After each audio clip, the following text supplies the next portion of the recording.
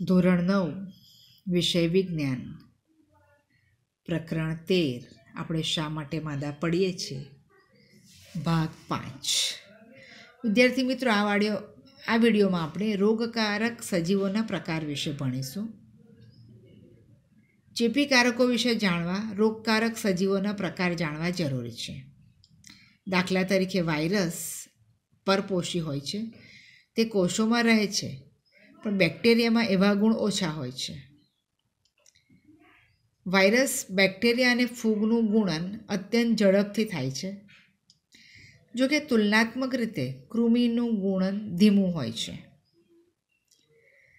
વર્ગીકરણ અનુસાર બધા બેક્ટેરિયા એકબીજાથી વાયરસની વધારે નજીક હોય છે. એવું વાયરસમાં પણ હોય છે. એટલે કે અનેક જૈવિક પ્રક્રિયાઓ બધા બેક્ટેરિયાઓમાં સમાન થાય છે. પરંતુ વાયરસ વર્ગથી ભિન્ન હોય છે. પરિણામ રૂપે, ઔષધિ જે કોઈ વર્ગમાં કોઈ એક જૈવિક પ્રક્રિયાને રોકે છે, તો તે આ વર્ગના અન્ય સભ્યો પર પણ આ પ્રકારે જ અસર પહોંચાડે છે. પરંતુ એવી જ ઔષધિ અન્ય વર્ગથી સંબંધિત રોગકારકો પર અસર પહોંચાડી શકતી નથી. આપણે એનું સાદું સીધું ઉદાહરણ જોઈએ કે આપણે અત્યારે છેલ્લા ઘણા મહિનાઓથી કોરોના વાયરસને લીધે થયેલી મહામારીનો અનુભવ કરી રહ્યા છીએ. વાયરસ જુદી જુદી વ્યક્તિઓમાં જુદા જુદા લક્ષણો ધરાવે છે અને એના કારણે હજુ સુધી આ વાયરસથી થતો રોગ કંટ્રોલમાં આવ્યો નથી. સૂક્ષ્મજીવો પર ઔષધિની અસરો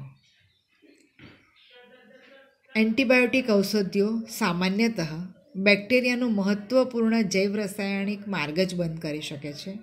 દાખલા તરીકે, મોટાભાગના બેક્ટેરિયા તેના રક્ષણ માટે કોષ દિવાલ બનાવે છે.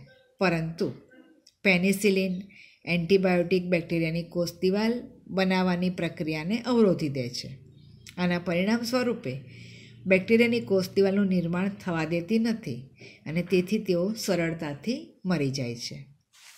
માનવના કોષોમાં કોષ દિવાલ બનતી નથી એટલા માટે માનવ પર પેનિસિલિનની અસર થતી નથી. પેનિસિનિલ આમ તો બધા બેક્ટેરિયાની અસર પહોંચાડે છે, જેઓમાં કોષ દિવાલ બનવાની પ્રક્રિયા થતી હોય છે. આ રીતે ઘણા બધા એન્ટીબાયોટિક બેક્ટેરિયાની અનેક જાતિઓને અસર કરે છે. માત્ર એક જ જાતિની અસર કરે છે એવું નથી. આપણે ઘણી વખત કહેતા હોય છે કે આને એન્ટીબાયોટિક દવા આપી. એન્ટીબાયોટિક એટલે બેક્ટેરિયાની જે કોષ દિવાલ બનાવવાની પ્રક્રિયા છે, એ બંધ થઈ જાય છે એટલે છેવટે બેક્ટેરિયા નાશ પામે છે. ત્યાર પછી વાયરસ પર ઔષધિની અસર જોઈએ. વાયરસમાં એવો માર્ગ કોઈ માર્ગ ન હોવાને કારણે કોઈપણ એન્ટીબાયોટિક વાયરસના સંક્રમણ પર અસરગ્રસ્ત કરતી નથી. દાખલા તરીકે, જો કોઈ વ્યક્તિને શરદી, ઉધરસથી પ્રભાવિત હોય, તો એન્ટીબાયોટિક લેવાથી રોગની તીવ્રતા કે સમયગાળો ઓછો થતો નથી.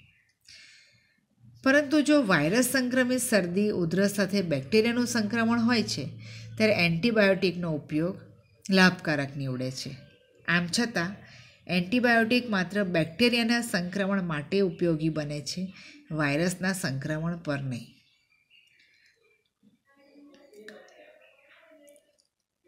રોગોનો ફેલાવો કેવી રીતે થાય છે તે સમજીએ અને રોગોના ફેલાવા માટે જરૂરી પરિબળો કયા કયા છે તે જોઈએ.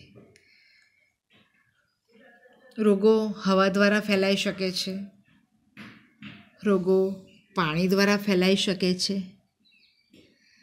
આ ઉપરાંત રોગો લૈંગિક ક્રિયાઓ દ્વારા ફેલાઈ શકે છે અને રોગ વાહકો દ્વારા પણ ફેલાઈ શકે છે. હવે, હવા દ્વારા, પાણી દ્વારા, લૈંગિક ક્રિયાઓ દ્વારા અને રોગવાહકો દ્વારા કેવી રીતે ફેલાય છે તેના વિશે આપણે ફરીના વિડીયોમાં જોઈશું. નમસ્કાર.